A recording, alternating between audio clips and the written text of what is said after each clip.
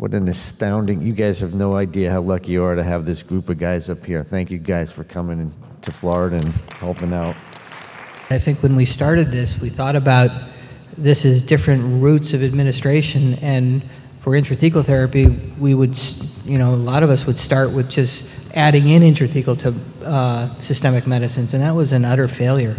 Uh, I think what we've learned over time is less is more, and that if we can titrate people down or preferably off of the systemic opioids, not always possible with some of the cancer patients and, and other complex patients, but as much as you can titrate them down, uh, the outcomes are better. This is not a sprint, this is a marathon.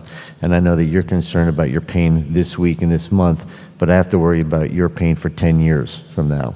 And so, in taking that slow approach and looking at that patient is really key.